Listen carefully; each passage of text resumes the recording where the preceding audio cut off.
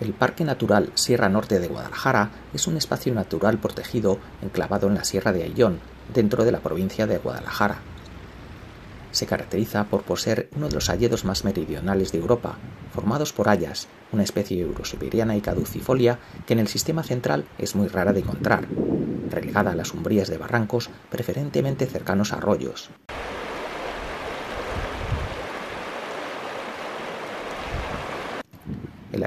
Necesita para desarrollarse mucha humedad y temperaturas no extremas. Es por ello que se encuentra mayoritariamente extendido por las montañas del norte de la península ibérica, como los Pirineos, la cordillera cantábrica y el sistema ibérico.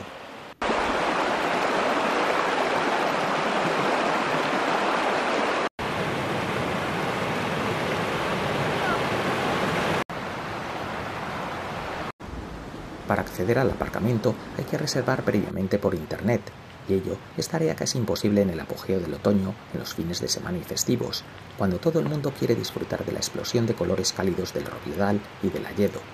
Ocres, dorados, anaranjados y rojos contrastan con las especies siempre verdes del pinar, de pino silvestre.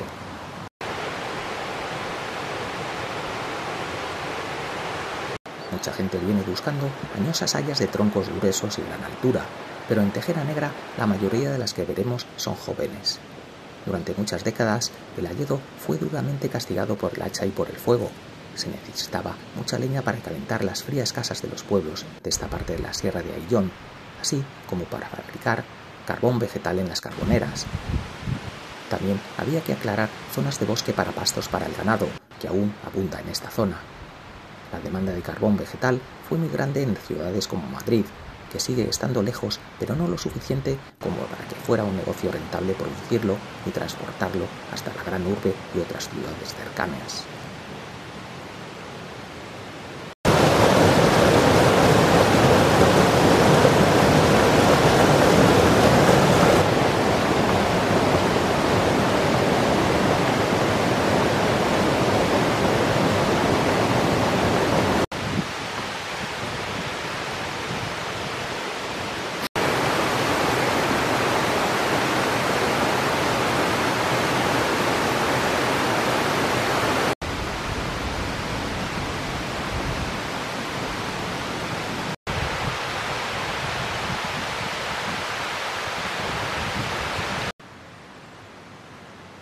Esta joya botánica no es el hayedo más meridional de Europa, como orgullosamente proclama la web oficial de Turismo de Castilla-La Mancha. Muy cerca, en la cercana Comunidad de Madrid, hay otro pequeño hayedo, el de Montejo de la Sierra, situado más al sur. En los puertos de Beceite, en Tarragona, también hay otro hayedo más meridional y hay otros más al sur que los españoles en las montañas de Grecia e Italia. En lo más alto del podio, el más meridional de Europa y del mundo, está en las faldas del volcán Etna, Sicilia.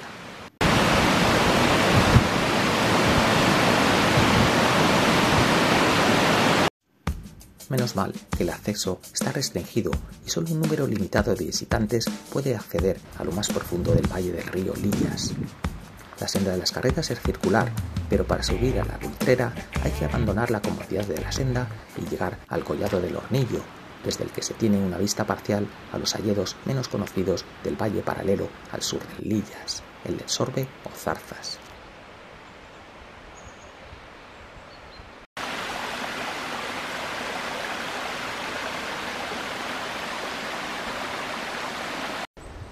Aquí hay un desvío, la senda de carreta sigue por la izquierda y por aquí arriba se puede coger la senda del Robledal. La mayor parte de las hayas que hay aquí en el Hayedo de Tejera Negra son bastante jóvenes. Hubo mucho carboneo durante muchos años y el hayedo original pues, fue muy castigado. Hay hayas grandes, pero quedan muy pocas en los lugares más inaccesibles o más recónditos, donde era más difícil extraer la madera. Aquí vamos a conectar ya con la pista que va a cantar hojas, como indica ahí. Estoy al lado del alto del hornillo y ahora voy a tener que girar hacia la derecha para coger la cresta.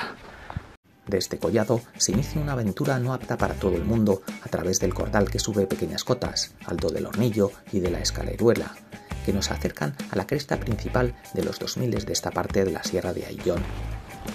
Marcas amarillas y los hitos de piedra a veces desaparecen. Mejor hacerse con un track para GPS fiable, aunque es casi siempre hay que mantenerse en la vertiente sur de la cresta afilada de Pizarra, en un duro y prolongado ascenso. Este sendero está marcado con marcas amarillas y con hitos de piedra.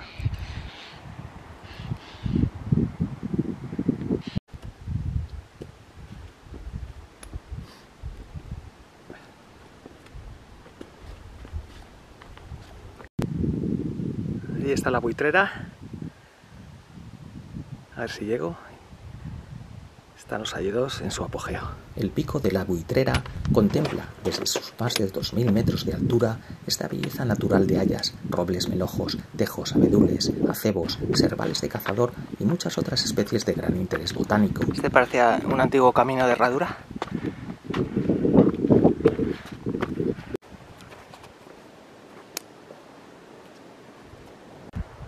Mal que de vez en cuando hay algunos hitos y marcas amarillas porque la verdad es que está un poco perdido.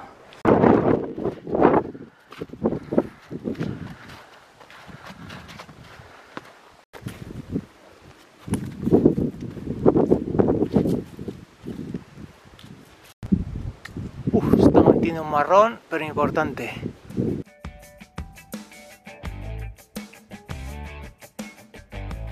El collado del Cerbunal nos lleva a las cercanías de la cresta principal, que seguiremos ya con una senda mejor trazada hasta la buitrera, faldeando el alto del Cerbunalillo por zona de Berezales.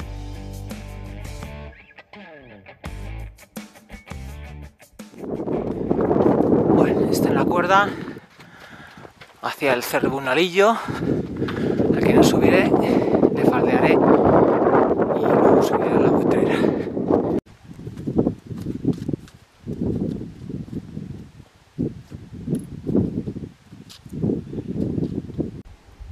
Estoy bajando ya al collado de las cabras, se me ha metido la niebla, menos mal que hay hitos como este.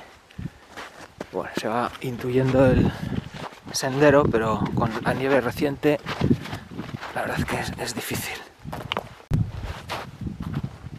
Es el collado de las cabras. Tengo que echar mano de GPS para bajar al collado de las cabras y conectar con un sendero editado que me lleva a una medio abandonada pista forestal que me devolverá al coche. Ahí arriba ha quedado ya la buitrera, entre la niebla.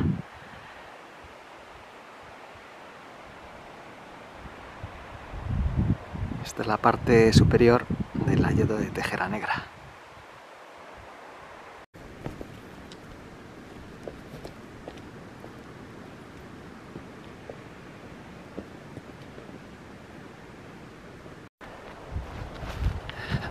ya estoy en esta pista que está bastante perdida, pero bueno, ya se intuye que baja hacia el valle. Tengo que descalzarme para vadear el caudaloso río Lillas y llegar al aparcamiento por el inicio de la senda de las carretas, pero ese es el menor de los problemas.